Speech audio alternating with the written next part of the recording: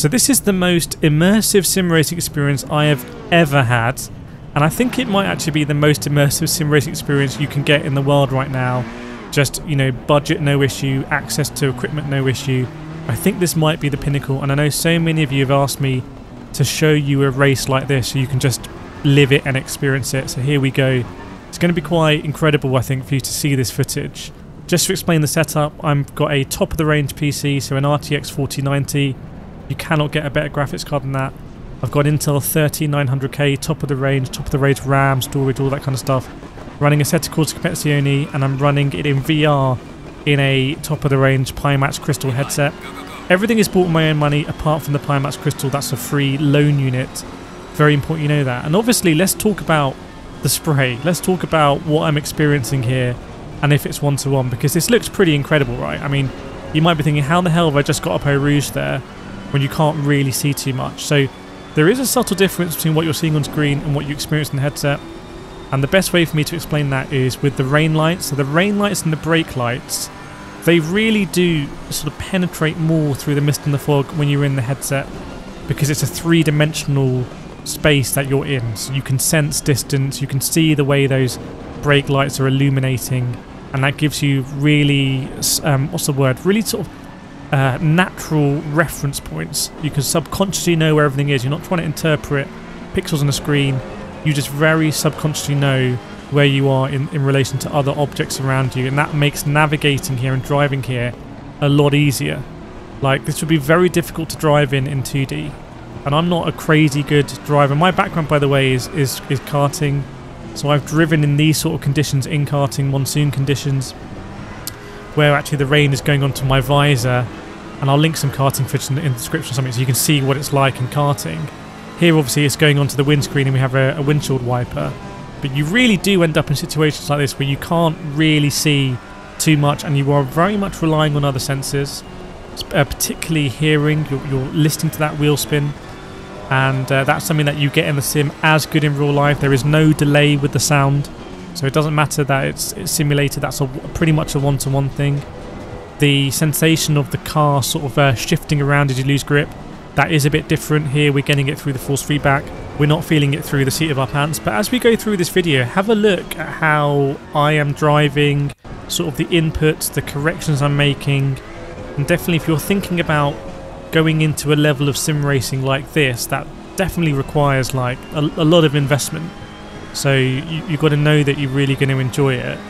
You can kind of see how I'm driving here. So coming up behind the 488, we're also in a 488 GT3, and I'm listening now, trying to hear the echoes of the. Um, can, I feel like you can hear the car's noise sort of bounce against barriers sometimes. Don't know if that's a uh, a, a placebo effect in game, but definitely in real life you can hear that and appreciate it. So going up the inside here into the bus stop and cars just sort of come out of the spray, it feels like. But I'm super comfortable. I know where the distance is. I've said this in previous VR videos, especially with the Pimax Crystal, because it is so high definition. When you're running it with this PC, I don't know what it's like when you don't run it with this sort of PC. Everything feels very one-to-one. -one. It's very relaxing. I look, I look very relaxed and this is how I try to be when I'm karting. If you look at my 360 footage, just try and be relaxed. My heart rate is not really going up too high. I'm not breathing heavily. I'm just trying to stay in control and interpret all this data. I need to maximize my brain sort of throughput to assess everything so I can drive to my best ability, make good decisions. As we almost hit the back of the Lamborghini there. Important not to get frustrated as well, by the way, when you're racing. If you get frustrated and flustered, some people seem to be able to dial into it.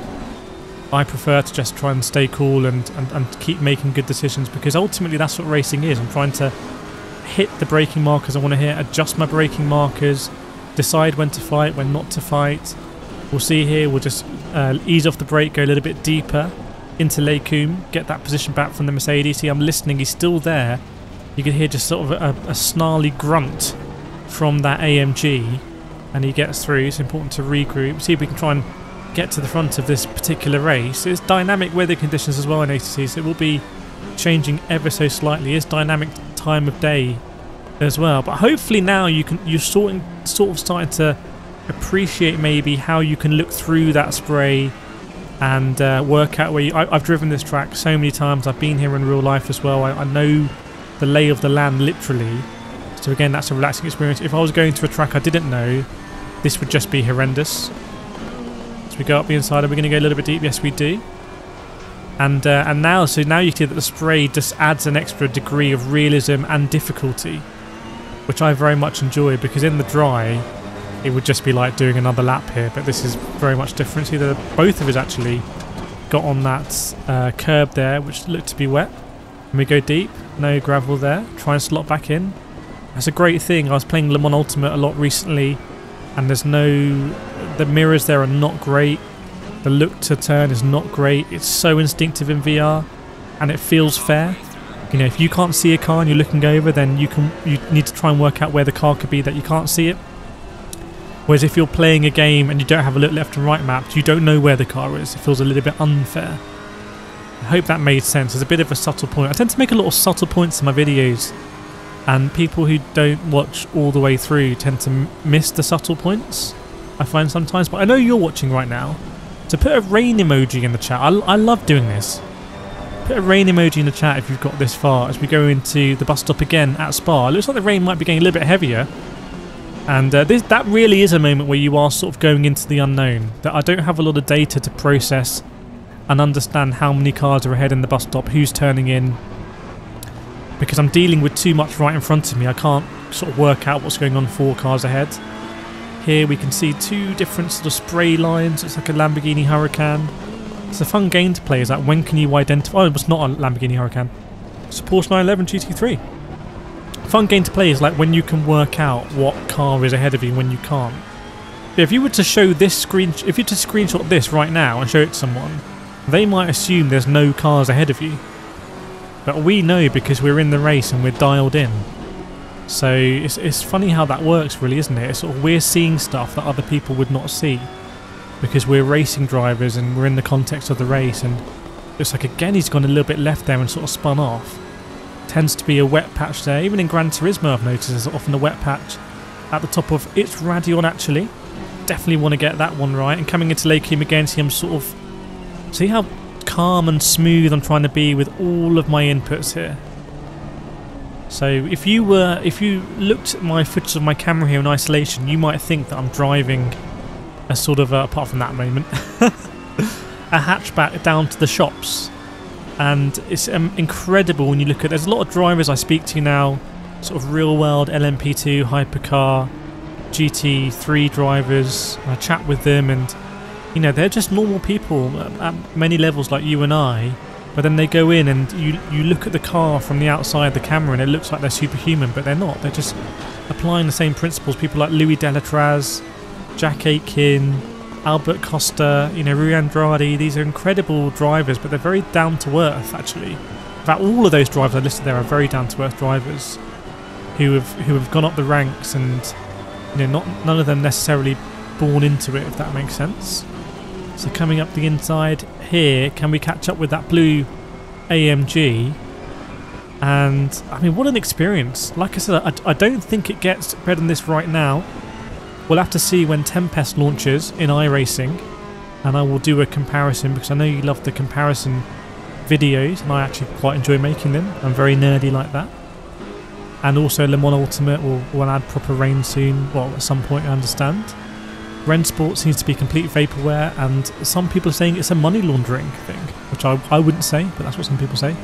But right now, this is where I think you want to be if you want to have that ultimate. And also, one point I want to make is that this is a very low friction setup. Like, right, setting up the Pimax crystal took a while the first time to calibrate it and make sure everything's charged, and even connect all the cables It's not easy. It's not simple. Not like the PSVR 2. But actually, getting into this race actually was really simple. ACC just works through Steam. I had to do one calibration of the headset, which was to just put it in front of me and then put it on the floor so it knows the height. It then automatically adjusts the pupil distance. So it has little motors, I think, that adjust it. And then you're just good to go. You're straight in there. You're good to go. There's no faffing about. You know, we know ACC just works. So if you're someone like me who's working during the week and you might have a couple of evenings a week that you want to race. You've got, you know, kids that rare to get time away from them and the wife and everything. Or maybe you are a wife. And You're trying to get away from the husband. Or maybe you're a wife and you're trying to get away from the wife. Many, many different ways to cut that cloth these days, which is great. But this is a setup where you can fairly reliably just pick up the headset and, and go and race. And for me, that's that is so critical. It's something that reviewers don't pick up on because they live in this bubble where often get stuff for free.